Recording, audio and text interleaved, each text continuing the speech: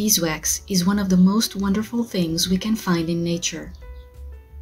We have already shown here on the channel how to clean beeswax, how to make beeswax pellets, and even how to use beeswax in various natural cosmetics such as moisturizing cream or lip balm. In the video description box you can find all the links to these suggested videos. Today we bring you a step-by-step -step tutorial for making beeswax candles to set the mood in your home. Making beeswax candles at home is a simple process, but it requires some special care. So let's look at everything that is needed and get to know several tips and important advice for a good result. It is necessary to choose a heat-resistant container.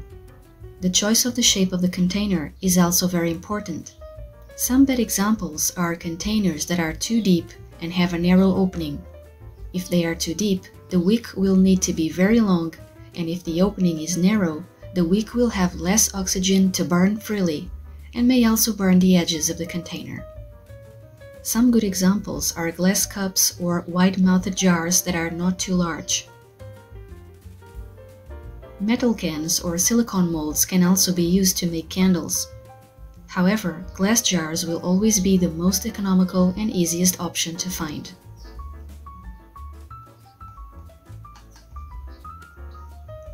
The wick must be of suitable thickness for the mount of the jar.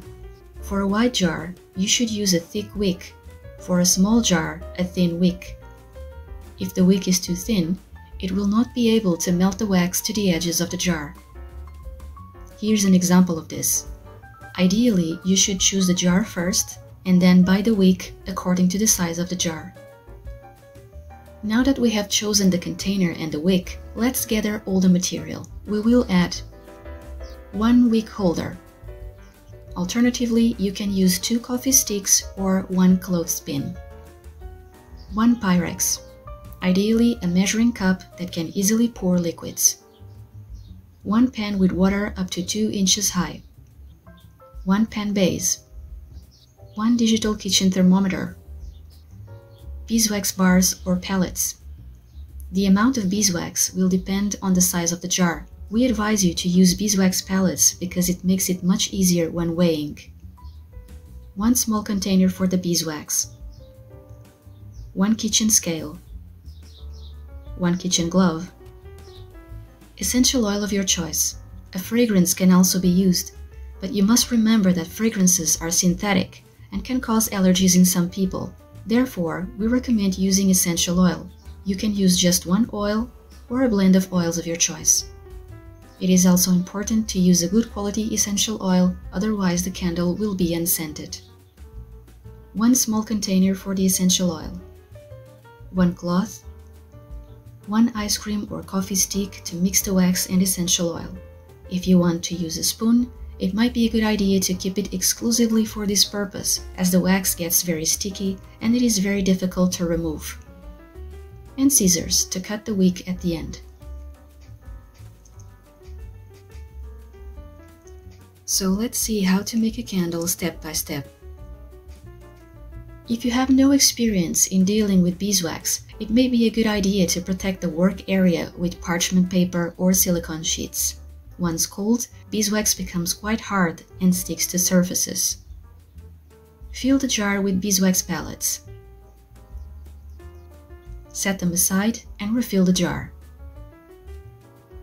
So you will be using double the amount of wax that fits in the jar in solid state.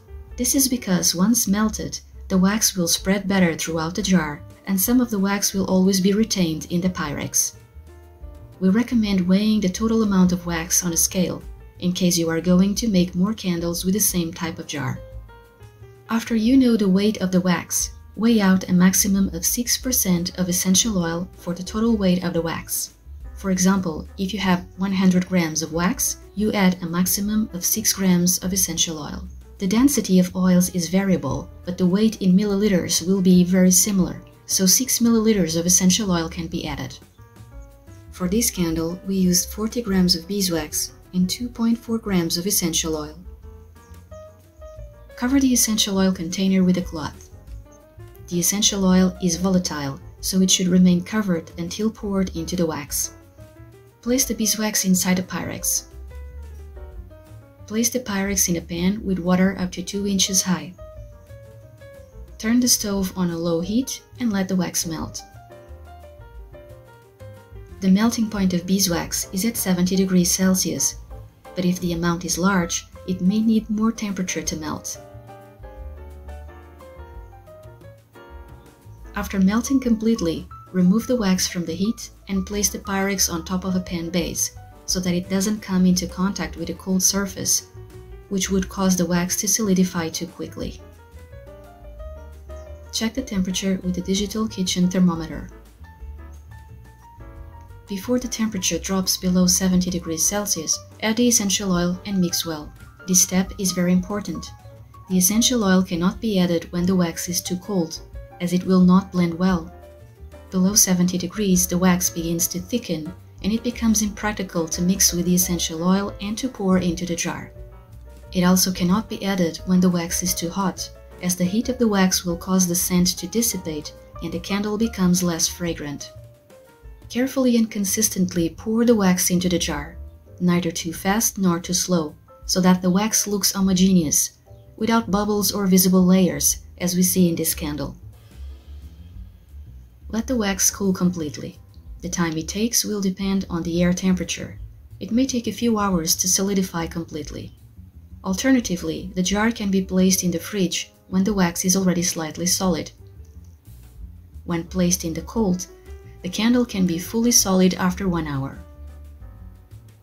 After the wax is completely solidified, cut the wick at about 1 cm from the top of the wax. The candle is ready to use. The candle we made for this video was made with beeswax from our beehives. It is a pure wax that tends to darken over time. Store-bought beeswax tends to be very yellow or white because it has been subject to industrial processes.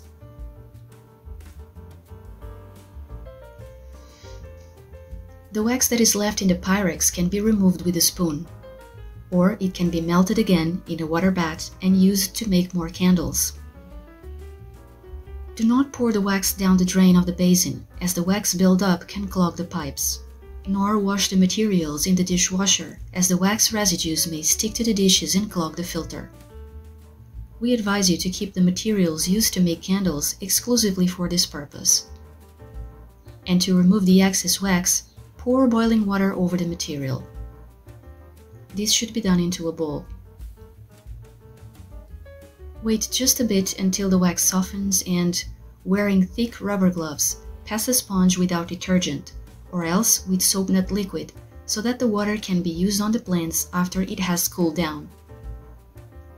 And here you have a simple, natural candle to scent your home or to give to someone special. For more details on the entire process of making beeswax candles, visit this post on our blog. We hope you enjoyed all the tips. Don't forget to like, share and subscribe to our channel for more videos about simple and sustainable living.